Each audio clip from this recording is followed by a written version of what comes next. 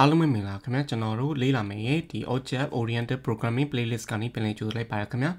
အာကျွန်တော်ကတော့စီမင်းပိုင်ပဲဖြစ်ပါတယ်အာဒီနေ့မှာတော့ကျွန်တော်တို့ပြောရမယ့်အကြောင်းအရာကတော့ဒီ OOP ထဲမှာမှဒီ inheritance ဆိုတဲ့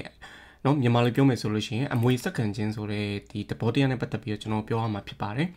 အဲ့တော့ OOP ရဲ့ဒီကျွန်တော်ရှေ့ကပထမဆုံးမိတ်ဆက်ဗီဒီယိုမှာပြောခဲ့တယ် OOP မှာအဓိက concept အကြီး၄မျိုးရှိတယ်အဲ့၄မျိုးထဲမှာပထမအဆုံးမဖြစ်မနေเนาะကျွန်တော်ရဲ့အမြင်မှာလည်းအရေးကြီးအကြီးအကြီးဆုံးလို့ခံစားရတာဘာလဲဆိုလို့ရှိရင်ဒီ inheritance ဆိုတဲ့ဒီနေ့ပြောမယ်အကြောင်းအရာရဲ့သဘောတရားဖြစ်တယ်ပေါ့နော်အဲ့ကောင်ကျွန်တော်ပြောမယ်ဆိုရင် ဒီ class တွေကိုအမွေစက္ကန့်ချင်းဆိုတဲ့ဒီသဘောတရားနဲ့ပတ်သက်ပြီးတော့ဟိုပြောလာတာဖြစ်တယ်ပေါ့နော်အဲ့တော့တခြားကောင်တွေအနေနဲ့ encapsulation ပြီး polymorphism ပြီး abstraction ဆိုတဲ့သဘောတရားတွေရှိရဲအဲ့ကောင်တွေကတော့နောက်မှအခွင့်ရှိရင်ရှိသလိုကျွန်တော်ပြောရမှာဖြစ်တယ်အဓိကတော့ဒီ inheritance ကတော့အခုအချိန်မှာမဖြစ်မနေသိတာမဲ့ဒီသဘောတရားတွေမှာပါဝင်နေပါတော့အဲ့တော့ပထမဆုံးအနေနဲ့ဒီကျွန်တော် object oriented programming OOP မှာဒီ inheritance ဆိုတာဘာလဲဆိုတော့မေးခွန်းနဲ့ပတ်သက်ပြီးတော့အရင်ပြောရမှာဖြစ်တယ်ပေါ့နော် အဲ့ inheritance ဆိုတာဘာလဲဆိုလို့ရှိရင်ကျွန်တော်အမွေစက္ကန့်ချင်းဆိုပြီးတော့ပြောလို့ရတယ်ဒါလက်တွေ့ဘဝမှာဆိုလို့ရှိရင်ဘာကိုပြောချင်တာလဲဆိုလို့ရှိရင်ကျွန်တော်ကိုကျွန်တော်မိဘကနေပြီးတော့မွေးလာတယ်အဲ့လိုမွေးလာတဲ့အချိန်မှာကျွန်တော်ရဲ့ဒီခန္ဓာကိုယ်ရဲ့အသားအရေပြီးလို့ရှိရင်ဟိုမျက်လုံးပုံစံမျက်ခုံးပုံစံအဲ့ဒါတွေကဟိုကျွန်တော်မိဘကိုအမွေဆက်ခံပြီးတော့သူတို့နဲ့စင်တူ ဟိုမွေးဖွားလာတယ်ပေါ့နော်အဲ့ဒါတွေမဟုတ်ဘဲနဲ့တခါကျရင်ကျွန်တော်အကျင့်စရိုက်တွေကျွန်တော်မိဘရဲ့အကျင့်စရိုက်တွေဘာတွေပါကျွန်တော်ကအမွေဆက်ခံပြီးတော့မွေးဖွားလာတယ်အဲ့သဘောတရားအတိုင်းပဲ OOP မှာဆိုလို့ရှိရင် child class လို့ခေါ်တဲ့ဒီ class တွေကကြတော့ဒီ parent class ဆိုတဲ့ဒီမိဘ class မှာရှိတဲ့ attribute တွေခုနကျွန်တော်ပြောရဟို attribute ဆိုတာကြတော့လူမှာဆိုလို့ရှိရင်တော့ဟိုခန္ဓာကိုယ်အသားအရည်ပြီးရင်ဟိုမျက်ခုံးပုံစံမျက်လုံးပုံစံအဲ့ဒါတွေကိုပြောတာเนาะပြီးလို့ရှိရင်လည်း method တွေ method တွေဆိုတာကြောင့်အကျင့်စရိုက်တွေပေါ့နော်ဟိုအဲ့လိုမျိုးကောင်တွေကိုဒီအမွေဆက်ခံတဲ့ child class တွေက parent class ရဲ့ attribute တွေ method တွေကိုအမွေဆက်ခံတယ်ဥပမာပြောရမယ်ဆိုလို့ရှိရင်ဒီကျွန်တော် staff ဆိုတဲ့ဒီ class လေးတစ်ခုကျွန်တော်ပြုတ်လုပ်ထားတယ်เนาะရှေ့မှာကျွန်တော်ဥပမာပြခဲ့တဲ့ဒီ class ကပါကျွန်တော် staff ဆိုတဲ့ဒီ class လေးပေါ့เนาะအဲ့ကောင်ကကျွန်တော် parent class ဖြစ်တယ်ဆိုပါစို့เนาะ အဲ့ဒါဆိုလို့ချင်းသူ့ရဲ့ child class အနေနဲ့ကျွန်တော်တွေကဘယ်လို class မျိုးတွေကိုဟိုလုံးလို့ရလဲဆိုလို့ချင်းဥပမာ manager ဆိုတဲ့ class မျိုးလုံးလို့ရတယ်အဲ့ဒီ manager ဆိုတာဘာကိုပြောရလဲဆိုဒီ manager ဆိုတာလေဒီဝန်ထမ်းပဲကွာဒါဆိုကျွန်တော်ရဲ့သူ့ရဲ့ဒီ child class အနေနဲ့เนาะသူ့ဒီ step ဆိုတဲ့ကောင်ကိုအမွေစက္ကန့်နဲ့ class အနေနဲ့ manager ဆိုပြီးတော့အဲ့လိုမျိုး class နာမည်ပေးပြီးတော့ပြုလုပ်လို့ရတယ်အဲ့ဒါဆိုရင်ဘာဖြစ်သွားလဲဆိုရင်အဲ့ manager ဆိုတဲ့ class ကသူ့ရဲ့ parent class ဖြစ်တဲ့ဒီ staff ပေါ့နော် parent class ဖြစ်တဲ့ staff မှာပါတဲ့ attribute တွေ method တွေကို ပါသူကအလိုအလျောက်ပိုင်ဆိုင်နေမှာဖြစ်တယ်ခဏနေတော့ကျွန်တော်တို့ဟိုကုန်းနေရေးပြီးတော့ပြမယ်ပေါ့နော်အဲ့ဒါဆိုပို့ပြီးတော့ရှင်းသွားလိမ့်မယ်အဲ့တော့လက်တွေ့ဘဝမှာလည်းအဲ့လိုပဲဒီ manager ဆိုတဲ့ဟာကလည်းဒီ staff ဖြစ်တယ်လို့ဒီလိုမျိုး chef တို့เนาะကျွန်တော်က okay စားတောက်ဆိုင်ဒီ program လေးတစ်ခုလုပ်နေရဆိုပါစို့အဲ့ဒါဆိုလို့ရှိရင် manager ကလည်း staff ပဲပြီးရင် chef ဆိုတဲ့ဒီ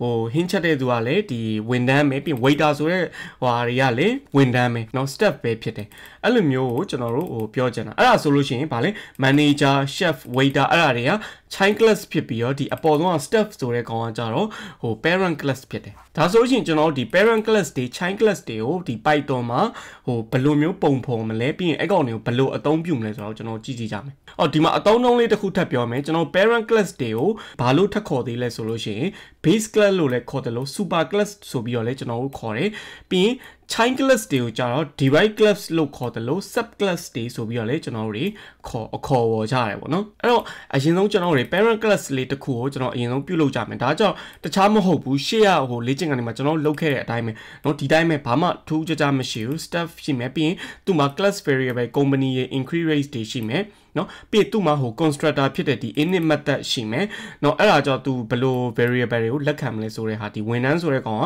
နာမည်ရှိရမယ်ပြီးရင်မွေးနေ့ရှိရမယ်ပြီးရင်လာကဘယ်လောက်လဲဆိုတာရှိရမယ်နော်ပြီးရင်လာကဘယ်လောက်တိုးလဲဆိုတာကိုတွက်တဲ့ဒီ method လေးတစ်ခုထပ်ပြီးတော့ရှိရ နော်အဲ့တော့ဒီကောင်ကကျွန်တော် parent class လို့သဘောထားမယ်အဲ့ဆိုရင်ကျွန်တော် child class တွေကိုကျွန်တော်တစ်ချက်ပြုတ်လုပ်ကြရအောင် โอเคအဲ့တော့ကျွန်တော် chain class ကိုဘယ်လိုပြုလုပ်လဲဆိုလို့ရှင်ဒီမှာကြည့်ကြည့်เนาะဒီမှာ chef ဆိုတဲ့ကောင်ကိုလုပ်တယ်သူကကြတော့ဘယ်ကနေပြီးတော့အမွေဆက်ခံမလဲဆိုလို့ရှင်ဟိုမိဘ class ဖြစ်တဲ့ staff ကနေပြီးတော့အမွေဆက်ခံတယ်ဒီလိုမျိုးရေးရတွေ့ရမှာလားเนาะ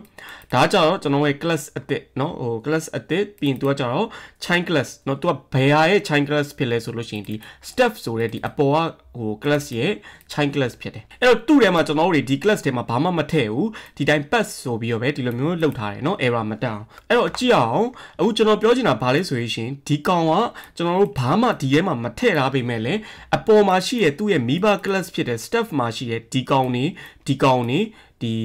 variable တွေပေါ့နော်ဒီ class variable တွေရောပြီးလို့ရှိရင်ဒီ constructor ထဲမှာရှိတဲ့ဒီ instant variable တွေရောပြီးတခြား method တွေရောဒီကောင်ထဲမှာပါအဲ့လိုမျိုးဝင်နေရရှိနေတဲ့အမွေစက္ကန့်တွေဆိုတာကိုကျွန်တော်ကပြချင်တာ နော်အဲ့တော့ထုံးစံအတိုင်းကျွန်တော်တို့ဘာလုပ်မလဲပထမဦးဆုံးအနေနဲ့ဒီ step 1 step 2ဆိုတဲ့ဒီ object လေးတွေပြုတ်လုပ်တယ်ပေါ့နော်ရိုးတနံအခုအရင်အတိုင်းပဲနော်ဒီကောင်မလဒီကောင်မလာသေးဘူးပုံမှန်ရှေ့မှာရှိရကျွန်တော် step ရဲ့ဒီ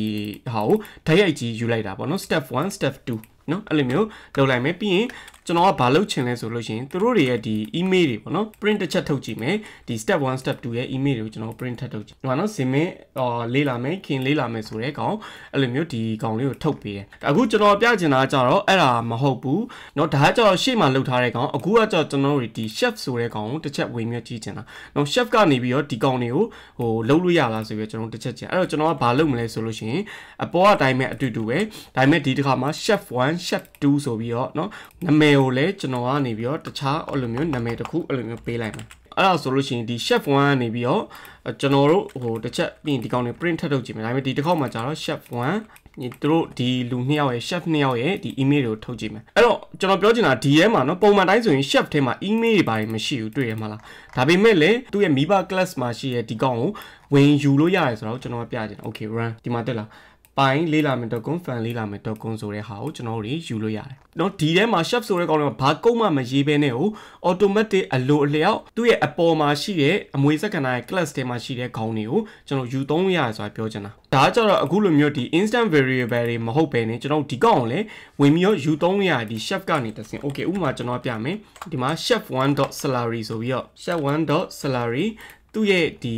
ပုံမှန်ဒီကျွန်တော်တို့ salary ကိုအရင်ထုတ်ကြည့်မယ်ပေါ့နော်ပြောမယ်3000ဖြစ်လိမ့်မယ် chef 1 salary ပြီးလို့ရှိရင်ကျွန်တော်ဒီကောင်ကိုဟိုလာကတိုးလိုက်မယ် chef 1 .salary အာ chef 1. ကျွန်တော်ဘာလုပ်မလဲဒီ increase salary သူ့ကိုလာကတိုးမှာနော်တိုးပြီးလို့ရှိရင်သူ့ရဲ့လာကောက်ကိုကျွန်တော်ပြန်ပြီးတော့ကြည့်မယ်တိုးပြီးမှလာကောက်နော်ပုံမှန်တိုင်းဆိုရင်ကျွန်တော်ဒီမှာနော် increase salary တို့ဘာလို့ရဒီထဲမှာပုံမဖော်ရအောင်နော် chef ထဲမှာဒါပေမဲ့ယူလို့ရဆိုတာပြောချင်တာ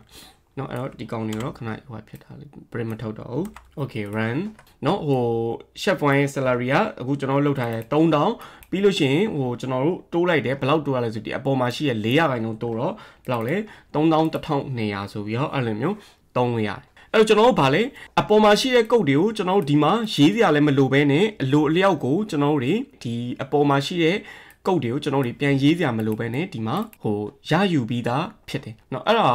ဒီပုံမှန်တိုင်းကဒီ inherit ဆိုတဲ့သဘောတရားအဲ့ဒါပဲเนาะဒီ chain class ကသူ့ရဲ့အပေါ်မှာရှိတဲ့ကောင်ရဲ့ class ကိုအမွေဆက်ခံတာเนาะအဲ့ဒါအဓိက point ပဲအဲ့တော့နောက်တစ်ခုဒီမှာကျွန်တော်ထပ်ပြီးတော့ပြချင်တာဒီကောင်တွေကိုအာ print မထုတ်ပဲねအခုဒီမှာကျွန်တော်ဘာလုပ်မလဲဆိုလို့ရှိရင်ဒီမှာ print ဒီတစ်ခေါက်မှာကျွန်တော်ဘာလို့ချင် hub ဆိုတဲ့ဒီ Python မှာ function လေးရှိတယ်ဒီ hub ဆိုတဲ့ function ကဘာကိုပြောလဲဆိုရင်ကျွန်တော်ဟိုသူ့အတွင်းထဲမှာဝင်တဲ့ကောင်ရဲ့ဒီ function ပဲဖြစ်ဖြစ်ဒါမှမဟုတ် class ပဲဖြစ်ဖြစ်သူ့ရဲ့ information တွေကိုအချက်လက်တွေကိုဒီ hub ဆိုတဲ့ function နဲ့ကြည့်လို့ရတယ်အခုကျွန်တော်ဘာကိုကြည့်မလဲဒီ chef ဆိုတဲ့ဒီဟွာအကြောင်းကိုဒီ class ပေါ့နော်အဲ့ကောင်အကြောင်းကိုကျွန်တော်နည်းနည်းလေးဒီမှာဒီဟာနဲ့တစ်ချက်ကြည့်ကြည့်မယ်ဒီမှာတက်လာအဲ့ဒါဆိုလို့ရှိရင်ဒီ chef ဆိုတဲ့ class ရဲ့ဒီ information တွေအချက်လက်တွေကိုသူကနေပြီးဒီ hub function ကထုတ်ပေးတယ်အဲ့ဒါဆိုဒီမှာကြည့်မယ် chef ဆိုတဲ့ကောင်ကဗာလဲဒီ staff ဆိုတဲ့ကောင်ကနေပြီးတော့အဲ့လိုမျိုး inherit လုပ်တယ်ဆိုတဲ့အကြောင်းကိုပြောတယ်ပြီးလို့ရှိရင်အာဒီမှာ method inherited from staff ဒီအပေါ်သူ့ရဲ့မိဘ class ကနေပြီးတော့ဘယ်လို method တွေကို inherit เนาะအဲ့လိုဟိုအမွေဆက်ခံလဲဆိုတဲ့ဟာကိုပြောတယ်ဒီမှာဘယ်လို method တွေအမွေဆက်ခံဒီမှာ init method ကိုအမွေဆက်ခံတယ်ပြီးရင် increase salary ဆိုတဲ့ဒီလာကဒီ method ကိုအမွေဆက်ခံတယ်ပြီးလို့ရှိရင် ဘယ်လို variable တွေကိုအမွေဆက်ခံလဲဒီမှာ company တို့ပြီး increase rate တို့ဒီမှာ company တို့ increase rate တို့အမွေဆက်ခံတယ်เนาะအဲ့လိုမျိုးပြောရင်အဲ့ဒါကိုဒီ print hub ဆိုတဲ့ကောင်လေးကြည့်လို့ရတယ်အဲ့တော့အခုလိုမျိုး inheritance ဆိုတဲ့အမွေဆက်ခံခြင်းဆိုတဲ့သဘောတရားကြောင့်ဒီနေရာမှာနေမပြီးသေးဘူးเนาะဒီ class chef ဆိုပြီးကျွန်တော် pass လုပ်ပြီးတော့ဒီအပေါ်အကောင်ကိုအဲ့လိုမျိုးအမွေဆက်ခဲ့အမွေဆက်ခံအောင်တီးတန်းနေပဲမပြီးသေးဘူးဒီမှာတခြားလုပ်လို့ရတာတွေရှိသေးတယ် နော်တခြားအဲ့လိုမျိုးဟိုဒီ sub class မှာပြောမယ်ဒီ chain သားသမီး class မှာကျွန်တော်တို့တွေပြုပြင်ပြောင်းလဲလို့ရတာတွေရှိသေးတယ်အပေါ်ကဂုံတက်တိတွေဒီအာ variable method တွေကိုလည်းယူမယ်ပြီးလို့ရှိရင်ဒီမှာလည်းထပ်ပြီးတော့အဲ့လိုတခြားတိုးချက်ခြင်းတွေကိုလှုပ်ချင်နေတယ်အဲ့အဲ့ဟိုလူပွားမှာလည်းအဲ့လိုပဲလေ နော်ဟိုကျွန်တော်ကဟိုကျွန်တော်မိဘစီကနေပြီးတော့အဲ့လိုအမွေစက်ခံတာတွေရှိတယ်ဒါပေမဲ့လည်းဟိုကျွန်တော်မိဘနဲ့မတူတဲ့အရာတွေလည်းရှိရလေဟုတ်တယ်မလားအဲ့လိုမျိုးပဲเนาะဒီ chef ဆိုတဲ့ကောင်ကဒီ step ဆိုတဲ့တွေကနေပြီးတော့အမွေစက်ခံတယ်ဒါပေမဲ့ तू က step နဲ့လုံးဝမတူတာလေးတွေလည်းရှိနိုင်တယ်နော်အဲ့အဲ့လိုကောင်တွေကိုကျွန်တော်တို့ဒီမှာပုံဖော်လို့ရတယ်ဥပမာအနေနဲ့ကျွန်တော်ပြောမယ်ဆိုလို့ရှိရင်ကျွန်တော်ဒီကောင်လေးကိုအဲ့လိုမျိုးဖယ်လိုက်မယ်မလိုတော့ဘူးပြီးရင် အာ email ထုတ်ပြတာလေဟိုမလုပ်တော့ဘူးအခုဒီမှာကျွန်တော်က chef ကိုဘာလုပ်ချင်လဲဆိုလို့ရှိရင်ဒီမှာနော်ဘာကိုပြောင်းချင်လဲဆိုရင်အပေါ်မှာတော့ကြောက်ဒီ Yodan staff တွေအားလုံးကကြောက်တပြေးညီတဲ့ increase rate နော်ဟိုသူ့ရဲ့ဟိုလာကသုံးတော့400ခိုင်နှုန်းဒါပေမဲ့ကျွန်တော်ဒီမှာဘာကိုပုံဖော်ချင်လဲဆိုလို့ရှိရင် chef ဆိုတဲ့ကောင်ကိုကြတော့နော်ကျွန်တော်ရဲ့ဒီ company မှာပို့ပြီးအရေးပါတယ်လို့ယူဆတဲ့အနေနဲ့သူတို့ကျွန်တော်တို့က increase rate နော်သူတို့လာကသုံးတော့ကို1.10ဆိုပြီးတော့နော်ဟိုကျွန်တော်10ရာခိုင်နှုန်းဆိုပြီးတော့ကျွန်တော်တို့သတ်မှတ်လိုက်မယ် အဲ့တော့ဘာဖြစ်သွားလဲဆိုရင်ကျွန်တော်တို့ဒီ chef ဆိုတဲ့ဒီကောင်ကိုဝင်လိုက်တဲ့အခါမှာသူ့ရဲ့ increase rate ဒီမှာလောက်ထားတဲ့ increase rate ကအပေါ်အကောင်ကိုအဲ့လိုမျိုးအစားသွင်းမိတာဖြစ်သွားဒီကောင်က override လုပ်လိုက်ရောဒီအပေါ်အကောင်အစားဒီ1.30ဖြစ်သွား1.34အစား1.30ဖြစ်သွားเนาะကျွန်တော်တို့ရဲ့ဒီ chef ဆိုတဲ့ဒီဝန်ထမ်းတွေကိုပဲတီးတန့်10ရာခိုင်နှုန်းတိုးတာဖြစ်သွားเนาะအကယ်၍ကျွန်တော်ကနေပြီးတော့တခြားเนาะဟို class အဲ့လိုမျိုးခုနပြောလို့အဲ့လိုမျိုး waiter လိုမျိုးသူကလေ staff ကနေပြီးတော့အမွေဆက်ခံနေ နော်ဒါပေမဲ့ pass လောက်လိုက်တယ်အဲ့လိုမျိုးဆိုလို့ရှိရင်လေဒီမှာကျွန်တော်တို့ကဗာလေ waiter ကြတော့ဒီသူ့အထက်မှာ increase rate ဆိုရင်မတတ်မှတ်ထားတော့ဒီကောင်ကိုပဲယူနေမှာဒါပေမဲ့ဒီကောင် chef ကကြတော့1.30ကိုယူနေမှာနော်အဲ့ကျွန်တော်စမ်းကြည့်အောင်ဒီကောင်ကိုပဲပြန်ပြီး run ကြည့်မယ်နော်ကျွန်တော်တို့တွေအခု chef ကဒီမှာနော်ဟို100ရာခိုင်နှုန်းဖြစ်သွား3000ရဲ့100ရာခိုင်နှုန်းကကြတော့3000ဟုတ်တယ်မလားအကယ်၍ကျွန်တော်တို့ကကြတော့ဒီမှာ chef 1ကိုပြန်ပြီးတော့ကျွန်တော်တို့ step ဆိုပြီးတော့ ရိုးတနန်ပုံမှန်ရိုးတနန် step ပေါ့နော်သူခြုံပြီးတော့ပြော step ဆိုတာကြောင့်ခြုံပြီးတော့ပြောတာကျွန်တော်ဒီမှာ step ဆိုပြီးပြောင်းလိုက်တယ်ဆိုလို့ရှိရင် chef 1ရဲ့ salary ကပုံမှန်အတိုင်းဒီလိုမျိုး3.3ဟို1.3ရလေးဖြစ်ပြီး400ခိုင်နှုန်းပြန်ဖြစ်သွားအောင်เนาะအကယ်၍ကျွန်တော်ဒီမှာအတူတူပဲ waiter ဆိုပြီးတော့ဒီမှာပြောင်းပြီးတော့လောက်တိုက်တယ်ဆိုလို့ရှိရင်လည်းအတူတူပဲဒီတိုင်းပဲထွက်လိမ့်မယ်သူ့ရဲ့မူလအတိုင်း3000 3200နေရအဲ့လိုမျိုးထွက်လိမ့်မယ်เนาะ chef ပဲဗာလဲ10ရာခိုင်နှုန်းတိုးတာ အဲ့လိုမျိုးအနေနဲ့ကျွန်တော်တို့မူလ parent class မှာရှိတဲ့ကောင်ကိုကျွန်တော်တို့ပြင်လို့ရတယ်။ဒါကြောင့်ရိုးတနန်းဟိုအပေါ်မှာရှိတဲ့ဒီကောင်ရဲ့ဒီ class variable လေးကိုပြောင်းလဲခြင်းလုပ်တာเนาะအခုကျွန်တော်ကနေပြီးတော့ဘာလုပ်ချင်လဲဆိုရင်နောက်ထပ်တစ်ခုကကြတော့เนาะဒီမှာနော် staff မှာကြတော့ရိုးတနဲ့ကျွန်တော် staff တွေတုန်းကကျွန်တော် name ရယ် DOP ရယ် salary ကိုကျွန်တော်အဲ၃ခုကို ဒီ variable အနေနဲ့ကျွန်တော်တို့တွေ constructor တွေမှာလက်ခံတယ်เนาะအခုကျွန်တော်ကဘာလုပ်ချင်တာလဲဆို okay chef ကကြတော့เนาะဒီ၃ခုအပါအဝင် နော်ဟိုတခြားနောက်တဲ့တခြား variable တွေကိုလည်းငါတို့ကလက်ခံခြင်းတယ်အဲ့လိုမျိုးလေဒီလိုမျိုး chain class မှာလုပ်လို့ရတယ်ဥပမာအနေနဲ့ပြောမယ်ဆိုရင်ကျွန်တော် chef ကိုဘယ်လိုမျိုး variable ထပ်ထည့်ခြင်းလဲဆိုလို့ရှိရင်ကူစင်းဆိုတဲ့ဘယ်နိုင်ငံအစားအသောက်မျိုးကိုချက်လဲဆိုတာကိုကျွန်တော်တို့တွေအဲ့လိုမျိုးဒီမှာဟိုထည့်လို့ရတယ်အဲ့လိုလုပ်မယ်ဆိုရင်ကျွန်တော်တို့တွေက init ကိုပြန်ပြီးတော့သုံးရတယ်အဲ့လိုမျိုးလုပ်မယ်ဆိုရင်ကျွန်တော်တို့တွေကဒီ chef အတွက် constructor ကိုတတ်တတ်ရေးပေးရတယ်နော်အခုဒီမှာတွေ့လားကျွန်တော်ကဒီမှာဟို dev ဆိုပြီးတော့ဒီမှာဟို init ဆိုပြီးတော့အဲ့လိုမျိုးဒီမှာလှုပ်လိုက်တာနဲ့ဒီလိုနှိပ်လိုက်တာနဲ့ဟိုဘာဖြစ်လဲ automatic ဟို VS Code ကနေပြီးတော့ automatic ကျွန်တော်တို့ပေးရအဲ့တော့ဒီကောင်ကိုကျွန်တော်ကဒီကဘာကိုပြောလဲဆိုရင်ကျွန်တော်တစ်ချက်ရှင်းပြမယ်เนาะအရင်ဆုံးဒီအောက်ကကောင်ကိုမကြည့်နဲ့အခုဒီမှာကျွန်တော် init မှာဘာလုပ်ချင်လဲဆိုရင်ထပ်ပြီးတော့တိုးချင်တာအခုဒီမှာမတိုးခင်သူကအပေါ်မှာရှိတဲ့ staff မှာကျွန်တော်တို့ဟိုလောက်ထားခဲ့တဲ့ဒီမှာ name DOB salary ကိုသူကနေပြီးတော့ထက်ဟို automatic ပေါ်နေတယ်အဲ့ဒါကိုကျွန်တော်ဘာထပ်လုပ်ချင်တော့ထပ်ပြီးတော့ဖြည့်ချင်တာဘာဖြည့်မလဲဆိုရင်ကုစင်းဆိုတဲ့ကောင်ကိုဖြည့်မယ် နော်ကုစင်းဆိုတဲ့ကောင်ဖြည့်ပြီးကျွန်တော်အောက်မှာဘာလောက်ကမလဲဆိုရင်အခုကျွန်တော်လုပ်ချင်တာကြောင့်အပေါ်ကဒီသူ့ရဲ့ meeting class မှာရှိတဲ့ခေါင်းတွေကိုလည်းဒီ၃ခုကိုလည်း ယူမှာပြီးရင်တက်တက်ကိုလည်းထည့်ချင်တာအဲ့တော့မိဘဒီမိဘ constructor ကိုရည်ညွှန်းတဲ့သဘောတရားကိုလည်းကျွန်တော်တို့ဒီမှာလာပြီးတော့ဟိုထည့်ရတယ်ဒီမိဘ constructor ကိုရည်ညွှန်းတဲ့ကောင်ကိုကျွန်တော်တို့တွေကဘယ်လိုမျိုးဒီမှာဟိုလုပ်လဲဆိုလို့ရှင် super ဆိုတဲ့ဒီသဘောတရားခုနကကျွန်တော်ပြောရမှာလားဒီမိဘ class တွေ parent class တွေကိုကျွန်တော်တို့ super class တွေဆိုပြောလဲခေါ်တယ်ဆိုပြီးပြောရလေအဲ့တော့အဲ့သဘောတရား super dot init เนาะ super.init ဆိုပြီးတော့ကျွန်တော်ဘာလုပ်မလဲမိဘ class တွေကကျတော့ဒီ3ခုเนาะ အဲ့တော့ပြောချင်တာ Miba class တွေကကျတော့ဒီ3ခုပြီးလို့ရှိရင်ဒီ init เนาะအသက်ဒီ chef အတွက် init မှာကျတော့ဒီ cuisine ဆိုတဲ့သဘောတရားမျိုးပြောချင်တာเนาะပြီးကျွန်တော်တို့ကဘာထပ်လုပ်မလဲဒီကောင်တွေကိုတော့ဒီ3ခုကိုတော့ခုနအပေါ်မှာအတိုင်းဒီလိုတက်တက်ထပ်ပြီးတော့တတ်မှတ်စရာမလိုတော့ဘူးရှိပြီးသားဒီ super init ကเนาะဒီ super init ဆိုတဲ့ကောင်တစ်ခုလုံးကဓာကြီးကိုရည်ညွှန်းတာနော်အဲ့ကောင်ကြီးတစ်ခုလုံးဒီထဲမှာယူလာတာပြီးရင်ထပ်ပြီးတော့တိုးတာ self.cuisine ဆိုပြီးတော့ကျွန်တော်တို့ကြံတဲ့ကောင်အတွက်ကိုပဲဒီမှာ ကုစင်းဆိုပြီးသတ်မှတ်ပေးလိုက်ရင်အဲ့လိုမျိုးရတယ်။ Okay အဲ့တော့ကျွန်တော်တို့တွေတစ်ချက်ဝင်ပြီးတော့ဟိုအောက်မှာတစ်ချက်ကြည့်ကြည့်ကြမယ်။နော်အခုဒီအောင်တစ်ချက်ဖြတ်ပြီးတော့ okay အဲ့တော့ကျွန်တော် chef အကိုဖန်တီးရဲ့အခါမှာအခုဒီမှာကိုကုစင်းကိုပါထည့်ရတော့မယ်တခုကကြောကျွန်တော်ကကိုရီးယန်အဲ့လိုမျိုး chef 1ကျွန်တော်ကိုရီးယန်အစားတောက်ချက်တယ်ဆိုလို့ရှိရင်နောက်တစ်ယောက်ကကြတော့ western အဲ့လိုမျိုးအနေနဲ့ကျွန်တော်တို့ထည့်မယ်နော်ပြီးရင် chef 1ရဲ့ဒီမူလပါပြဖြစ်တဲ့ salary ကိုကျွန်တော် print ထုတ်ကြည့်မယ်ပြီးရင် သူ့ရဲ့ဒီကုစင်းပေါ့နော်ကုစင်းကိုလည်း print ထုတ်ကြည့်မယ်3000ပြီးရင်ဒီ Korean ဒီဆိုရဲဒီကုစင်းကိုတွားနေပြီး print ထုတ်ပေးတယ်အဲ့တော့အဲ့လိုမျိုးသဘောတရားကိုကျွန်တော်တို့တွေကဘာလို့ခေါ်လဲဆိုလို့ရှိရင်เนาะအာဒီမှာကြည့်ကြည့် parent class ရဲ့เนาะ parent class ရဲ့ constructor ကိုကျွန်တော်တို့တွေက extend လုပ်တာဘယ်မှာလုပ်တာလဲဆိုရင် child class မှာ extend လုပ်လိုက်တာနော်ငကိုမူလပါ parent class မှာမူလပါပြီးသားဖြစ်တဲ့၃ခုအပြင်ကိုကျွန်တော်တို့ဒီ chef အတွက်ကိုပဲတီးတဲ့အဲ့လိုမျိုး variable instant variable တစ်ခုထည့်လိုက်တာ နော်ဟို constructor ကို extend လုပ်တာနော်ပြီးလို့ရှိရင်ကျွန်တော်တို့ဘာထပ်လုပ်လို့ရသေးလဲဆိုလို့ရှိရင်ဒီမှာနော်ဟိုတခြားဟိုဟာတွေကို method တွေကိုလည်းဒီ chef အတွက်တီးတဲ့ method တွေကိုလည်းအဲ့လိုမျိုးကျွန်တော်တို့ရဒီမှာထည့်လို့ရတယ် good အဲ့လိုမျိုးဟို food ပေါ့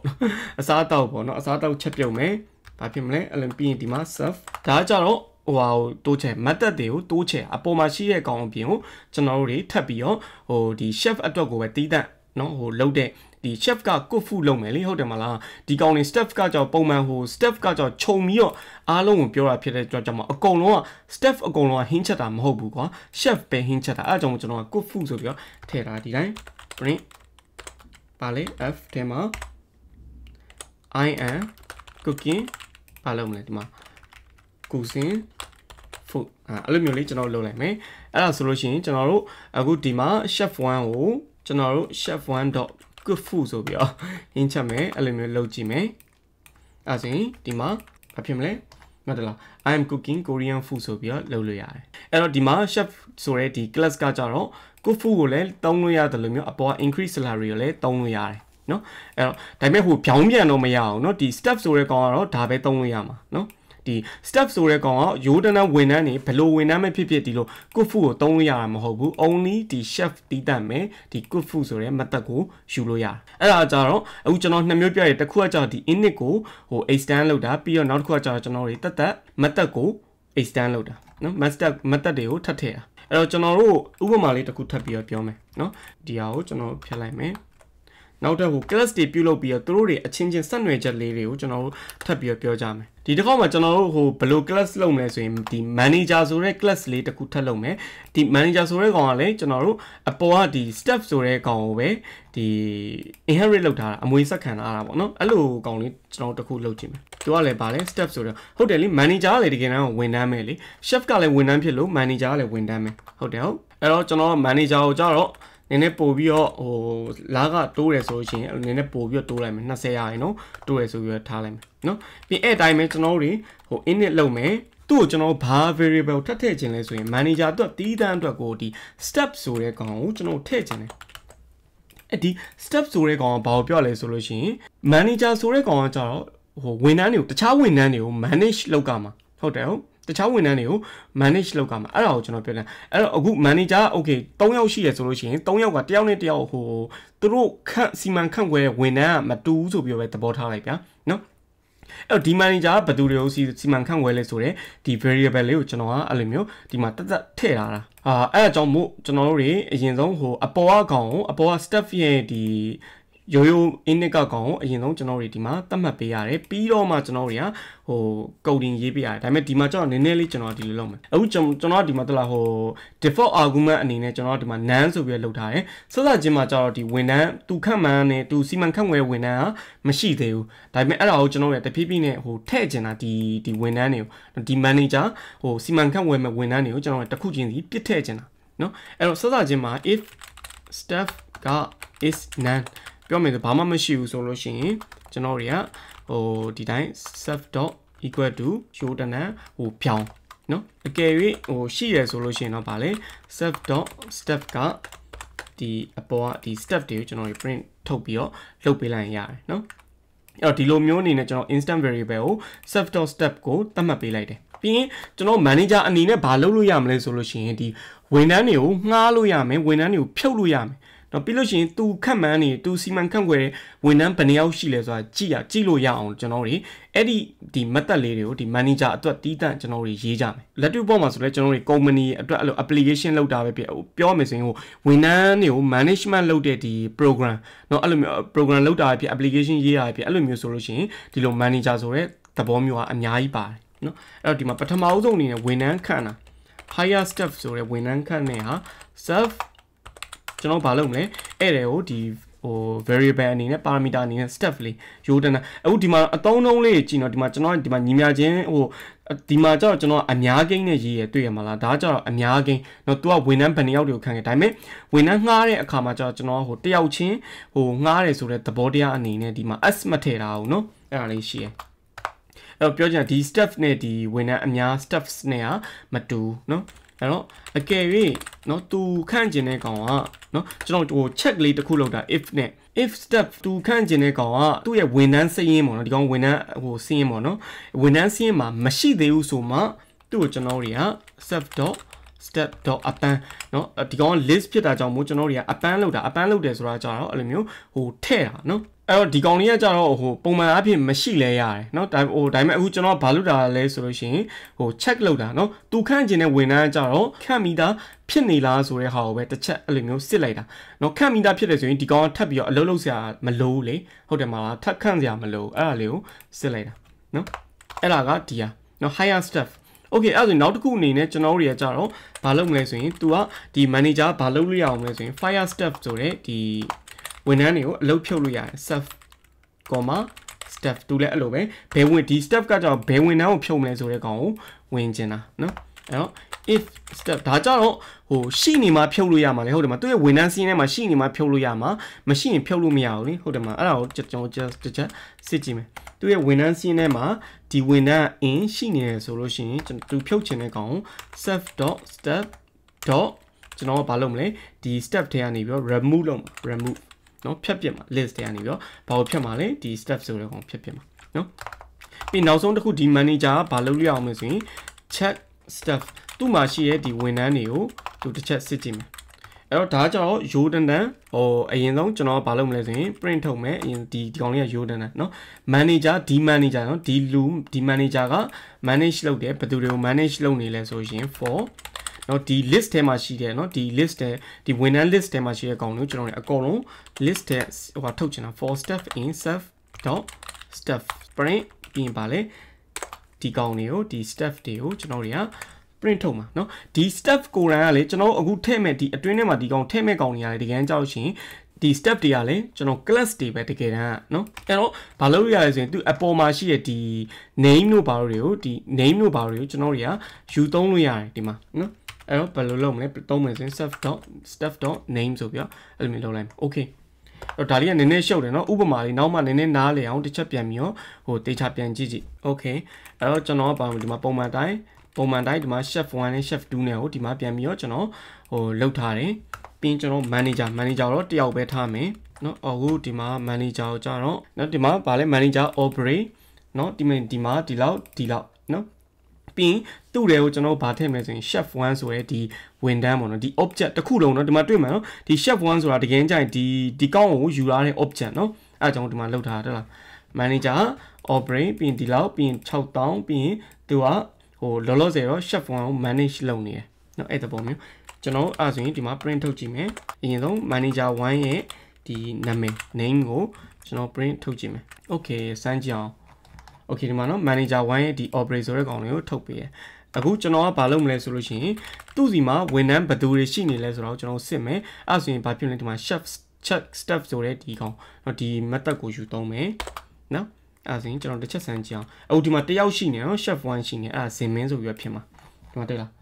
ဇင်မင်းဆိုပြီးတော့ဒီမှာဟိုထုတ်ပေးရ operate သူ့ရဲ့နာမည်က operate ပြီး manager operate manage ဇင်မင်း manager operator ဇင်မင်းကို manage လုပ်တယ် okay အဲ့ဒါဆိုရင်နောက်ထပ်တစ်ခုအနေနဲ့ကျွန်တော်ဘာလုပ်မလဲဆိုရင်ဒီ higher step ဆိုတော့ဒီ manager ဝန်ထမ်းတယောက်ယောက်ကိုငှားကြည့်မယ်နော်အခုဒီ name ကိုတော့မထုတ်တော့ဘူး okay ဝန်ထမ်းကဝန်ထမ်းကိုဝန်ထမ်းခန့်မယ်အဲ့တော့ဘာလုပ်မလဲ manager1. ပြီးရင်သူ့ထဲမှာပါကျွန်တော် higher step ကိုသုံးပါ ဘသူ့ higher လုပ်မှာလဲကျွန်တော် chef 1ဆိုတဲ့ကောင်ရှိပြီးနေပြီကျွန်တော်အခုဟိုလုပ်ချင်တာကြတော့ chef 2ကိုလုပ်ချင်တာအဲ့တော့ဒီ parameter အန်ထဲမှာကျွန်တော်ဘာလုပ်မလဲ chef 2ကိုဒီမှာလာထည့်ပေးရမယ်เนาะဒီမှာ higher step က higher step fire step ကိုဒီမှာတက်လာဒီကောင်တွေလက်ခံတယ်เนาะလက်ခံတဲ့ကောင်ကဘာလဲဆိုရင်ဝန်ထမ်းကိုလက်ခံတာအဲ့တော့ chef 2ကိုကျွန်တော် higher လုပ်လိုက်မယ် higher လုပ်ပြီးတော့မှကျွန်တော်ဘာလုပ်မလဲတစ်ချက်ပြန်ပြီးတော့စစ်ကြည့်မယ်ဟိုစစ်ကြည့်မယ်ဝန်ထမ်းစင်းကိုပြန်စစ်ကြည့်မယ်ဒီ manage လုပ်တယ်ဒီမှာတက်လာ နော်ပထမဦးဆုံးကဒီကောင်ကကြတော့ဒီ manager 1 chef state မှာကြတော့ဟို hire မလုပ်ခင်တော့ဝင်နှမ်းမခန့်ခင်တော့ဇင်မင်းဒါပေမဲ့ခန့်လိုက်ခန့်ပြီးဟိုအစ်စ်လဲခန့်မလဲခန့်ပြီးတော့ဒီမှာနှစ်ယောက်ဇင်မင်းရောဒီမှာ chef 2ဆိုတဲ့ဒီခင်ရောဒီမှာဝင်နေပြီเนาะ okay နောက်ဆုံးတစ်ခုအနေနဲ့ကျွန်တော်တို့ဝင်နှမ်းကိုဖြုတ်ကြည့်မယ် fire stuff ဘယ်သူ့ကိုဖြုတ်မလဲဆိုလို့ရှိရင် chef 1ကိုအဲ့လိုမျိုးကျွန်တော်တို့ ဟို fire လုပ်ကြည့်မယ် fire လုပ်ပြီးရင်လည်းကျွန်တော်ပြန်ပြီးတစ်ချက်ပြန်စစ်ကြည့်မယ်အဲ့ဒါဆိုလို့ရှိရင်နောက်ဆုံးမှာနောက်ဆုံးဒီမှာဆိုလို့ရှိရင် manager operate manage ခင်မဲဖြစ်တော့တယ်စင်မရမရှိအောင်เนาะဘာလို့လဲဆိုရင်ကျွန်တော်တို့ဒီမှာ fire လုပ်လိုက်လို့เนาะ fire လုပ်လိုက်ရဆိုတာကြောင့်သူ့ရဲ့ဝန်ထမ်းစင်းရနေပြီးထုတ်လိုက်တာအဲ့တော့ပုံမှန်အဖြစ်ဒီလိုမျိုးကျွန်တော်တို့တွေကဟို class အတေကိုအဲ့လိုမျိုးဟိုဖန်တီးတဲ့အခါမှာเนาะ class တွေကိုဖန်တီးရပြီးလို့ရှိရင်အဲ့ class တွေကဒီတိုင်းမဟုတ်ပြီးသူတို့တွေက တစ်ခုနဲ့တစ်ခုကအဲ့လိုမျိုး chef တို့ manager ပြီးတစ်ခုနဲ့တစ်ခုအဲ့လိုမျိုးဆက်ဆက်နေတဲ့သဘောတရားတွေကအများကြီးရှိတယ်တကယ်လက်တွေ့ဘဝမှာကျွန်တော်တို့ရဟို program ရေးတဲ့အခါမှာဟို website ရေးရဖြစ် program ရေးရဖြစ်အဲ့လိုမျိုးလုပ်တဲ့အခါမှာကျွန်တော်တို့တွေကဟိုဒီကောင်းတွေကို design ဆွဲရ design ရင်ဆွဲရကျွန်တော်ဟိုအိမ်ဆောက်တယ်ဆိုရင်ဒီတိုင်းဟိုဒုံးတန်းတိုင်းနဲ့စပြီးတော့စောက်တာမဟုတ်ဘူးလေအဲအိမ်ကိုဘယ်လိုစောက်မလဲဆိုတာကိုကျွန်တော် design ဆွဲအဲ့အတိုင်းပဲဒီ class တို့ဘောက်တွေကတကယ်ကြလက်တွေ့ဘဝမှာကျွန်တော်အဲ့လို design ဆွဲပြီးမှသာအဲ့လိုမျိုးဟိုကုတ်ကို အခုလိုမျိုးချရေးတာဖြစ်တယ်နော်အဲအခုဒီမှာကြည့်မယ်ဆိုလို့ရှိရင်ကျွန်တော်တို့က manager အတွက်ကိုလည်းသူ့ရဲ့ကုတ်ကတတ်တတ်ရှိရယ်နော် manager အတွက်ကုတ်ကတတ်တတ်ရှိရယ်ပြီးရင်ဒီမှာကျွန်တော်တို့ဒီမှာ chef ဆိုလဲဒီမှာ chef အတွက်ကုတ်ကတတ်တတ်ရှိရယ် waiter ဆိုလဲတတ်တတ်ရှိရယ်ကျွန်တော်ပုံဖော်လို့ရတယ်နော်အဲ့အတိုင်းပဲသူတို့တွေကအဲ့လိုမျိုးတတ်တတ်ရှိတယ်လို့မျိုးဒီ manager ရော waiter ရောပြီးရင် chef ကိုနော်ဟိုဘုံအနေနဲ့တူညီတဲ့သဘောတရားတွေကိုကျွန်တော်ဗမာရေးတာလေဒီ staff ဆိုတဲ့ဒီ class တွေမှာကျွန်တော်တို့ရေးရတယ် အဲ့တော့ပြောချင်ဒီကောင်တွေကိုကျွန်တော်တို့တွေကတီးတန့်ကြီးတက်တက်ကြီးဒီ chef တို့ manager တို့ waiter တို့မှာတော့ရေးစရာမလိုတော့ဘူးဘုံနဲ့အနေနဲ့တူနေတဲ့ကောင်တွေကိုကျွန်တော်ကအပြင်မှာတက်တက်ထုတ်ပြီးတော့ရေးလို့ရတယ်ဆိုတဲ့သဘော အဲ့တော့ဟိုနည်းနည်းလေးထပ်ပြီးတော့ဟိုပို့ပြီးတော့ဟိုပြအောင်ပြောမယ်ဆိုရင်ဒီသဘောတရားကဘာလဲဥမာကျွန်တော်ကကားဆိုတဲ့ class လေးရှိရယ်လောက်ထားတယ်အဲ့တော့အဲ့ကားထဲမှာမှဘာတွေကိုထပ်ပြီးတော့ခွဲထုတ်လို့ရလဲဆိုလို့ရှိရင်ဘာလဲ7တန်ဆိုတဲ့ရိုးတန်တန်အဲ့လိုမျိုးဟိုကားအဲ့လိုအိမ်စီးကားလေးရှိမယ်ဒါမှမဟုတ်လို့ရှိရင်ကျွန်တော်တို့ SUV ဆိုတဲ့ကားတွေရှိမယ်အဲ့တော့ပြောချင်တာဒီကားဆိုတဲ့ကောင်က parent class ဖြစ်ပြီးတော့ဒီကောင်7တန်တို့ SUV တို့အဲ့ကောင်တွေကကျွန်တော် child class တွေဖြစ်မှာ နော်အဲ့ဒီသဘောမျိုးတွေအဲ့တော့ဒီဆယ်တန်တို့ SUV တို့ကပုံမှန်သူ့ရဲ့မူလကားမှာရှိတဲ့ကောင်တွေကို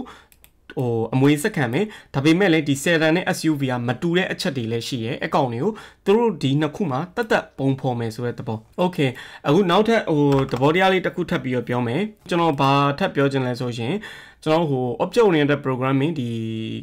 class တွေ object တွေနဲ့ဆက်ဆက်ပြီးတော့ကျွန်တော်သုံးလို့ရတဲ့ Python ဒီ function လေးနှစ်ခုကိုကျွန်တော်ထပ်ပြီးတော့မိတ်ဆက်ပေးမယ်ပထမတစ်ခုကဘာလဲဆိုလို့ရှိရင် is instance ဆိုတဲ့ method ရဲ့နောက်တစ်ခုကကျတော့ is subclass ဆိုတဲ့ဟာဒီ method ဟို function လေးရဲ့ is instant ကြတော့ဘာကိုပြောချင်တာဆိုရင်ကျွန်တော်ဥမာဟို chef 1ကဒီ chef ဆိုတဲ့ class ကိုဟို instant ယူရတဲ့ကောင်လေးနမူနာယူရတဲ့ကောင်ဟုတ်တယ်မလားအဲ့ဒါဆိုရင် chef 1ကဒီ chef ရဲ့ instant ဟုတ်လားမဟုတ်လားဆိုတော့စစ်တာ ပြီးရင် is subclass ကကြတော့ဒီ manager တူကကြတော့ class နဲ့တုံးတာဒီ manager ဆိုတဲ့ class ကသူ့အပေါ်မှာရှိရဒီ staff ရဲ့ subclass ဟုတ်လားမဟုတ်လားဆိုတော့စစ်တာเนาะဥပမာလေးနဲ့ကျွန်တော်ပြမယ်နော်ဒီမှာ is instant ဒီ manager 1ဆိုတဲ့ကောင်ကဒီ manager ဆိုတဲ့ class ရဲ့ဒီ instant ဖြစ်လားမဖြစ်လား object ဖြစ်လားမဖြစ်လားဆိုတော့စစ်တာ okay ကျွန်တော် print ထုတ်ကြည့်မယ်ဒီမှာကြည့်ဟုတ်တယ်နော် manager 1ကဒီမှာကျွန်တော်ဟိုဟာကိုတုံးထားတာနော် manager class ကိုတုံးထားတော့ ဖြစ်တယ်မှန်တယ်ဒါပေမဲ့ဒီ manager 1ဆိုတဲ့ကောင်ကအကယ်၍ကျွန်တော်က chef ရဲ့ဒီ instant ဖြစ်လာဆိုပြီးကျွန်တော်တစ်ချက်စစ်ကြည့်မှဆိုရင်ဒီမှာ false မှားတယ်ဆိုပြီးပြောမယ်เนาะဒါကြတော့ဟို is instant ရဲ့ဒီဟာနောက်တစ်ခုကကြတော့ is subclass ဆိုတဲ့ဟာ subclass ဆိုတဲ့သဘောတရား subclass ကကြတော့ဗာလဲဆိုလို့ရှိရင်ကျွန်တော်ကဒီမှာ manager ဆိုတဲ့ကောင်ကเนาะ manager ဆိုတဲ့ကောင်ကဒီသူ့အပေါ်မှာရှိရဲ့ staff ဆိုတဲ့ဒီ parent class ရဲ့ ဒီသားသမီးဖြစ်လာဆိုတော့စမ်းကြည့်လား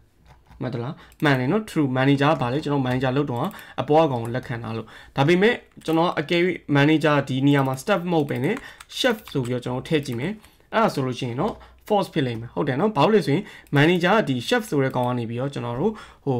inherit လုပ်ထားတာမဟုတ်ဘူး manager ရော chef ကိုကဒီအပေါ်မှာရှိတဲ့ဒီ staff ကိုပဲ inherit လုပ်ထားတာเนาะ inherit ဘယ်လိုလုပ်လဲဆိုတော့ဒီမှာကျွန်တော်ရေးရပြီးသားအဲ့တော့ဒီ class တွေဒီ inherit လုပ်တဲ့ inherit လုပ်တဲ့ဟာကအရန်ကိုဟိုအရေးပါတယ်တကယ်လက်တွေ့ဘဝမှာလေ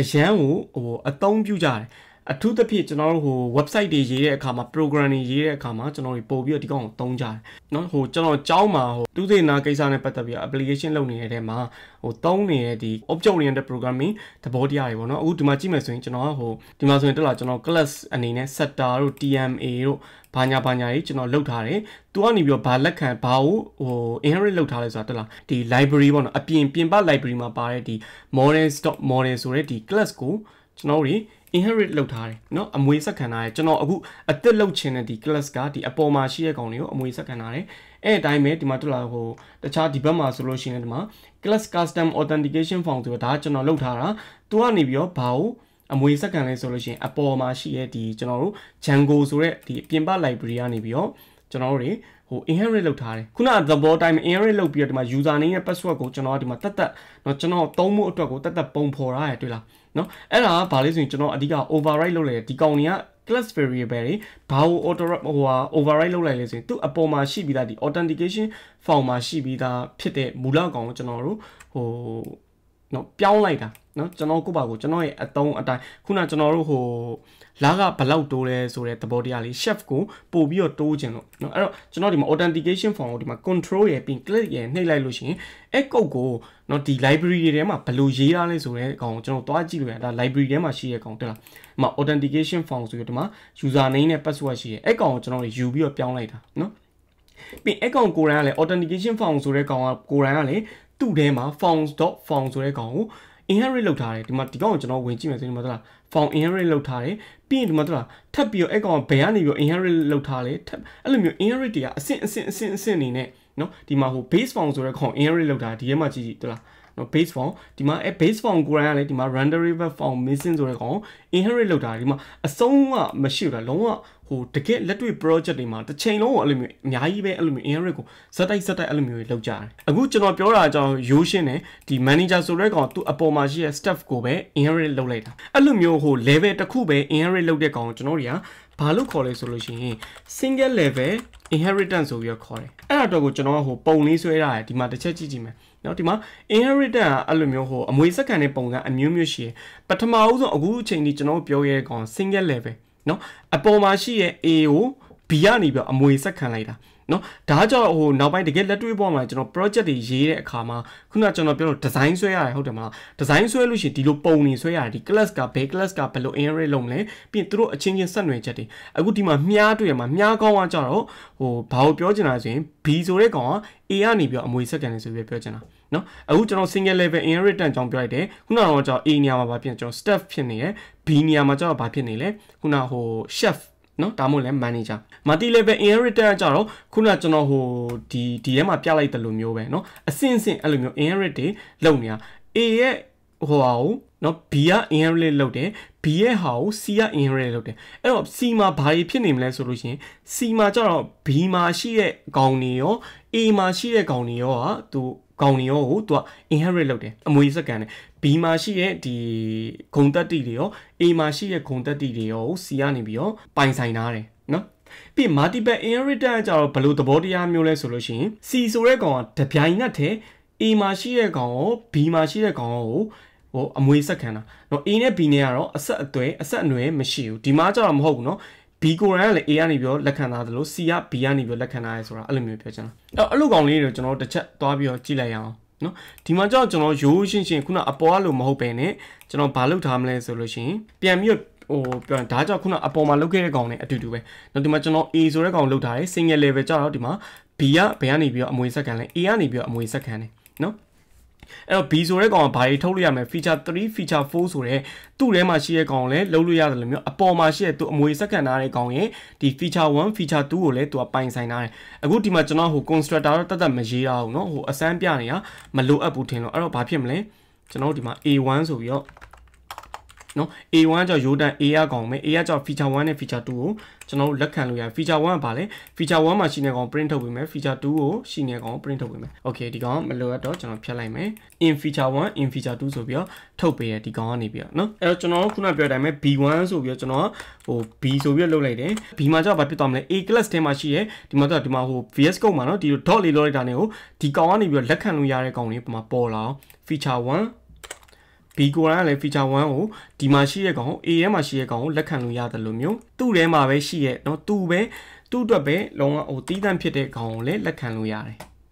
မှာကြည့်ကြည့် B ကကြတော့ feature 1 feature 3အဲ့လိုမျိုးအကုန်လက်ခံလို့ရတယ်။ Okay ဒါကြောင့်ခုနဟိုတခြားဘာမှမရှိဘူးနော်အပေါ်မှာပြောခဲ့ single level inheritance ဒီကောင်เนาะအခုကျွန်တော်ပြောချင်တာကကြတော့ဟို multi multi level inheritance မာတီကကြတော့ဟိုတစ်ခုသက်ပိုတော့ level ကကြတော့အဆင့်ဆင့်เนาะအဲ့တော့ဟိုအဆင့်အဆင့်အဆင့်အဲ့လိုမျိုးဟိုအမွေလက်ခံချင်တာအဲ့တော့ကျွန်တော်ဒီကောင်တွေကိုဟိုဖြုတ်မယ်ဒီကောင်ကိုလည်းဖြုတ်မယ်အဲ့တော့ကျွန်တော်ကဘာလုပ်မလဲဆိုလို့ရှိရင်ကျွန်တော်ဘာလုပ်မလဲဆိုရင်ဒီတစ်ခေါက်မှာကျွန်တော်ဟို class နောက်ထပ်တစ်ခုထပ်ပြီးတော့လုပ်လိုက်မယ်ဒီကောင်က Yodanan ကျွန်တော်တို့ class C ဆိုပြီးတော့လုပ်မယ် C သူကကြတော့ဘယ်ကနေလက်ခံမလဲသူက B ကနေပြီးတော့လက်ခံမယ်เนาะအဲ့တော့ဗာလဲ C ကကြတော့ B ကနေလက်ခံတယ် B ကကြတော့ A ကနေပြီးတော့ဟိုလက်ခံတယ်ဒါပေမဲ့ C ကကြတော့ B ကနေလက်ခံတာတော့เนาะ B မှာရှိတဲ့ခေါင်းတွေကိုလည်းရတယ်လို့မျိုးဒီ B ရဲ့မှာလည်း A ရှိနေတော့ဒီ A ရဲ့ခေါင်းကိုပါ C ကနေပြီးတော့အကုန်လက်ခံလို့ရတယ်เนาะအဲ့တော့ဒီကောင်ကကျွန်တော်ဒီမှာ feature 340ရှိနေပြီဆိုတော့ဒီကောင်ကျွန်တော် feature 5ဆိုပြီးတော့ဟိုကွက်ကွက်ပြပြလေးဖြစ်အောင်လုပ်လိုက်တာเนาะ in feature 5ဒီလိုလေးလုပ်ထားတယ်အဲ့တော့ကျွန်တော်တို့ C1 ဆိုတဲ့ကောင်က C ပြီးရင်သူဘာတွေကိုလက်ခံလို့ရလဲကျွန်တော်တစ်ချက်ကြည့်မယ် C1 ဆိုရရိုက်မယ်ဒီမှာ feature 1 2ဆိုတဲ့အပေါ်မှာရှိတဲ့ A မှာရှိတဲ့ကောင်လေးရတယ်လို့3 4ဆိုတဲ့ B မှာရှိတဲ့ကောင်လေးရတယ်လို့မျိုး feature 5ဆိုတဲ့ဒီသူ့ထဲမှာရှိတဲ့ကောင်ကိုလည်းလက်ခံလို့ရတယ်နော်မှာကြည့်ကြည့် in feature 5အကယ်၍ကျွန်တော်က C1. ဟို A မှာရှိတဲ့ကောင်ကိုကျွန်တော်တို့လောက်ကြည့်မယ်မတ in feature 2ရတယ် feature 5ရတယ်နော် ဒါကြတော့ multi level inheritance အဆင့်ဆင့်အဲ့လိုလုပ်ရင်းနဲ့ကျွန်တော်ဒီမှာ class D ဆိုပြီးတော့နော် C မှာရှိတဲ့ကောင်ကိုလည်းထပ်ပြီးတော့လက်ခံရအလုံးဝအဆုံးမတတ်နိုင်မင်းနဲ့တောင်မှပဲလက်ခံလို့ရတယ်ဘယ်လိုပဲဖြစ်ဖြစ်ကိစ္စမရှိဘူးအဲ့တော့ D ကဘာဖြစ်သွားမလဲဆိုရင် C မှာရှိတဲ့ကောင်ရော B မှာရှိတဲ့ကောင်ရော A မှာရှိတဲ့ကောင်ရောအကုန်လုံးကိုသူကပိုင်ဆိုင်မိသားဖြစ်မယ်နော်အဲ့တော့ဒီသဘောတရားကကြောက်ဘာပြောရရင်ဆိုရင်ဒီမှာ class B ကကြတော့ C ရဲ့နော်မိဘ parent class ဖြစ်ပြီးတော့ဒီကောင်ကျွန်တော် class A ကိုကျွန်တော်ကဘာလို့ခေါ်လို့ရလဲဆိုရင် grandparent ဆိုပြီးဖြစ်သွားဘာရဲ့ grandparent လဲ class C ရဲ့ grandparent class B ရဲ့အဘိုးဘွားပေါ့နော်ပြီးမြီးတွေမြစ်တွေအဲ့လိုမျိုးဟိုအစုံမဲ့အဲ့လိုမျိုးကျွန်တော်အစင်စင်အဲ့လိုမျိုးသွားလို့ရတယ်နော်ဒီသဘောတရားလေးပြီးသွားပြီ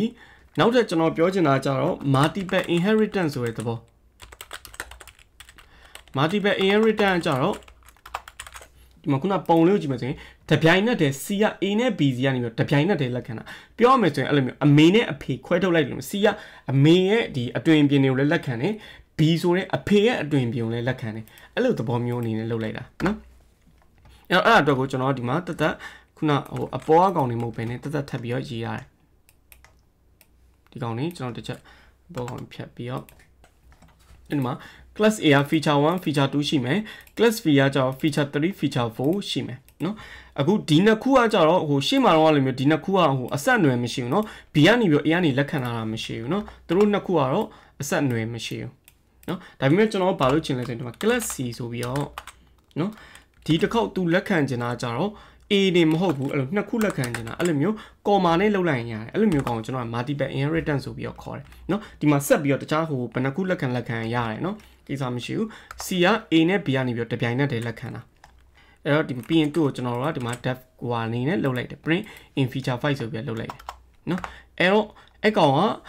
အတူတူပဲဘာဖြစ်မလဲကျွန်တော်က CO သုံးတဲ့အခါမှာ C က feature 5ထဲကနေလဲရတယ် A ကနေလဲရတယ် B ကနေလဲရတယ်နော်အခုကျွန်တော်နောက်ထပ်တစ်ခုထပ်ပြောချင်တာ constructor constructor in multiple inheritance ရှေ့မှာတော့ကျွန်တော်တို့ရဒီ constructor ပေါ့နော် constructor ကိုတိုးချဲ့ခြင်းနဲ့ဒီမွေစက္ကန့်သားတဲ့ကောင်မှာတိုးချဲ့ခြင်းလို့ရှိရင်ဘယ်လိုလုပ်ကြမလဲဆိုတော့ကျွန်တော်ပြောခဲ့အထူးသဖြင့်ဒီ super ဆိုတဲ့ကောင်နဲ့ဒီလိုမျိုးရေးရလေဟုတ်တယ်မလားဒါပေမဲ့အဲ့ဒါဆိုလို့ရှိရင်ဒီ multiple inheritance မှာဟောဒီ constructor တွေကိုကျွန်တော်တို့တိုးချဲ့ခြင်းဘယ်လိုလုပ်မလဲနော် အဲ့ဘာကိုပြောချင်လဲအခုဒီမှာပြဿနာကနော်ရှေ့မှာတော့ကျတော့ဟို single level တို့ multi level တို့မှာကိစ္စမရှိဘူး super နဲ့သူ့အပေါ်မှာရှိရဲ့ဟိုကောင်ကိုကျွန်တော်တို့ကဓာတ်ယူပြီးတိုးချဲ့ပြဒါပေမဲ့ဒီမှာကျတော့နှစ်ခုကတပြိုင်နက်တည်းဖြစ်နေတာတွေ့ရမှာလား A နဲ့ B ကအဲ့ဒါဆိုရင်နည်းနည်းလေးအာယုံနောက်ကောเนาะကျွန်တော်တို့က okay super ဆိုပြီးတော့ကျွန်တော်ရေးလိုက်မယ် okay ဥပမာကျွန်တော်ကလုပ်မယ်เนาะအရင်ဆုံးဒီမှာ class A ကျွန်တော်ကနေပြီးလုပ်လိုက်တယ် class A အခုဒီမှာကျွန်တော် constructor ပါပါတယ်เนาะအခုကကျွန်တော် constructor ဥပမာကိုပြချင်လို့เนาะ constructor in A in နဲ့ဆိုပြီးတော့ဖြစ်မယ်ပြီးရင် class B ဟိုလည်းကျွန်တော်ကလုပ်လိုက်မယ်အခုဒီမှာကျွန်တော်လုပ်ချင်တာ class C သူက A ရော B ရောလက်ခံတယ်ဟုတ်တယ်ဒါပေမဲ့အခုကျွန်တော်ပြောချင်တာကြာသူကသူ့ရဲ့ဟိုကျွန်တော် init ကိုတိုးချဲ့ခြင်းတယ်နော်ရှေ့မှာတော့လည်းအဲ့တော့အခုဒီမှာ init ကိုတိုးချဲ့မယ်ဆိုတော့ဒီမှာလုပ်တယ်ဒီမှာ super ဆိုပြီးတော့ဒီမှာဝင်လာပြီလားအဲ့တော့ဒီ super ကနော်ဘယ် super ကိုရည်ညွှန်းတာလဲ A လား B လား နော်ဒါမှမဟုတ်လို့ရှိရင်ငါတို့တွေကဟိုနှစ်ခုလုံးစီက constructor ကိုအဲ့လိုမျိုးယူလို့ရလားနော်စူပါနှစ်ချောင်းရေးလို့ရလားအဲ့လိုမျိုးဆိုပြီးတော့တွေးနိုင်တယ်နော်ဒီစူပါကဟိုဘယ်ကနေပြီးတော့ဘယ်တစ်ခုကိုရည်ညွှန်းတာလဲနော်အဲ့အဲ့ဒါကိုကျွန်တော်တွေကပြောချင်တာပြီးတော့မှ okay လုံးလုံးစရာတော့ဒီမှာ print ဟို in c init ဆိုပြီးကျွန်တော်လုပ်ထားလိုက်မယ်အဲ့တော့တစ်ခုနော်တစ်ခုကဘာလဲဆိုလို့ရှိရင်နော်တစ်ခုပဲရှိလို့ရမယ် နော်အဲ့လိုခုနလိုနှစ်ချောင်းအဲ့လိုမျိုးဟိုမဖြစ်အဆင်မပြေဘူးလုံးလို့မရအောင်အဲ့ဒါဆိုရင်အခုပြဿနာဒီ super ကဘယ်ကောင်ရဲ့ဒီ super လဲ A ကိုပြောတာလား B ကိုပြောတာလားနော်အဲ့ကောင်ကဟိုဟာဖြစ်ကောင်အဲ့တော့ဒါကြတော့ဟိုတခြားနီးလည်းမရှိဘူးနော်တခုပဲ အဲ့လိုမျိုး super အဲ့လိုကျွန်တော်တွေကဟိုတိုးချဲ့ခြင်းလို့ရှိရင် constructor ကိုတိုးချဲ့ခြင်းလို့ရှိရင်နှစ်ခုလုံးကနေပြီးတိုးချဲ့လို့မရဘူးအမွေးစက္ကန့်တာနှစ်ခုလုံးကလက်ခံလို့ရတယ်ဒါပေမဲ့ဟို instructor ကိုတိုးချဲ့ခြင်းလို့ရှိရင်တစ်ခုတည်းဒီနှစ်ခုတည်းကတစ်ခုပဲရမယ်အဲ့တော့ဒီကောင်ကဘာကိုပြောရလဲဆိုရင်အထူးသဖြင့်ဒီဘယ်ဘက်ကကောင်ပြောသူကဘယ်ကနေပြီးညာကိုသွားတာเนาะပိုက်တော့မှာအဲ့တော့ဒီ super ဘာကိုရည်ညွှန်းနေတာဆိုရင်တကယ်တမ်းဒီ A ဆိုတဲ့ကောင်ကိုရည်ညွှန်းနေတာသဘောပေါက်ပြီနော် တော့ဟိုကျွန်တော်ကအကဲ okay ငါတို့ကဟို A ရဲ့ဟို constructor ကိုတိုးချဲ့ချင်တာမဟုတ် B ရဲ့ constructor ကိုတိုးချဲ့ချင်တာအဲ့ဆိုဘာလုပ်ရမလဲပြောင်းပြန်လာလိုက်နေအောင်အဲ့သဘောပဲနော်အဲ့ဒါကိုပဲလုပ်လို့ရမယ်နော်အဲ့ဒါပြောချင်တာအဲ့လိုမျိုးကြောင့်ဒီ in နဲ့မာတွေမဟုတ်ဘူးကွာတိလား တခြားဟိုမက်သက်တွေကိုယူသုံးတဲ့အခါမှာလည်းအတူတူပဲအခုဆိုရင်ကျွန်တော်ဘာလုပ်ထားလဲဆိုရင်ဒီမှာကမက်သက်ကို class A မှာ class B မှာဟိုမက်သက်နာမည်တွေကိုအတူတူလုပ်ထားရတော့လား feature 1 feature 1အတူလုပ်ထားအတွင်းထဲမှာရှိတဲ့ဒီလုံဆောင်ကြတော့ကွာတယ်ဒီကောင် 1A ဒီကောင် 1B အဲ့ဒါဆိုလို့ရှိရင်ရောအကယ်၍ကျွန်တော်တို့တွေကနော်ဒီမှာဟို C1 equal to C ဆိုပြီးအဲ့လိုလုပ်ပြီးရောကျွန်တော်တို့ကနော်ဟို C1. Feature 1နော် feature 1ကိုကျွန်တော်ရယူသုံးမယ်ဆိုပြီးတဲ့သဘောထားအဲ့ဒါဆိုရင်ဒီ feature 1ကရောဒီ B ရဲ့ feature 1ကိုထုတ်ပေးမှာလား A ရဲ့ feature 1ကိုထုတ်ပေးမှာလားနော်အခုဒီမှာဆိုလဲအဲ့လိုပဲနော်ဟိုဘယ်ဘက်ကနေပြီးတော့သူအမွေစက္ကန့်တော့ဘယ်ဘက်ကနေဘယ်ဘက်အစွန်ဆုံးမှာလက်ခံတဲ့ကောင်က B ဖြစ်နေတဲ့အတွက်ကြောင့်မို့ဒီ B ရဲ့ဒီ feature 1ကိုဒီကောင်က print ထုတ်ပေးမှာဟို sorry ဟိုအမွေစက္ကန့်မှာအဲ့တော့ကျွန်တော်ကနေပြီးဒီမှာထုတ်ကြည့်မယ်ဒီမှာတက်လား in feature 1b ဒီကောင်ဆိုရ feature 1b ဆိုတဲ့ကောင်ကိုဒီကောင်ကထုတ်ပေးရเนาะအဲ့လိုသဘောတရားမျိုးကျွန်တော်တွေကဟို programming သဘောတရားဘာလို့ခေါ်လဲဆိုရင် MRO ဆိုပြီးတော့เนาะဟို method resolution order ဆိုပြီးတော့ခေါ်တယ် method တွေကိုအဲ့လိုမျိုးယူသုံးတဲ့အခါမှာကျွန်တော်တွေကဟိုဘယ်ကနေပြီးတော့ညာဘက်ကိုအဲ့လိုမျိုးသွားတယ်ဆိုပြီးတော့ဟို flow ကိုပြောချင်တာเนาะ okay အာအဲ့တော့ကျွန်တော်တို့ဟိုဒီနေ့တော့ဒီလောက်ပါပဲနည်းနည်းတော့များသွားပြီဒါပေမဲ့ဒီဒီလေ့ကျင့်ခန်းအရန်ကိုအရေးပါ inheritance ဆိုတဲ့သဘောတရားအရန်ကိုအရေးပါလို့ဗီဒီယိုနှစ်ခေါက်သုံးခေါက်လောက်ပြန်ကြည့်ပြီးတော့တစ်ချက်ပြန်စမ်းကြည့်ဖို့ပြောချင်တယ်ဗောနော်အဲ့ဒါဆိုရင်အားလုံးပဲဟိုကျေးဇူးအများကြီးတင်ပါတယ်ခင်ဗျာ